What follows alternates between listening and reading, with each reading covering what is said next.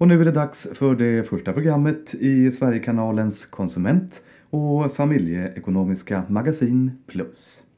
Ikväll handlar det bland annat om företag som behandlar sina kunder dåligt.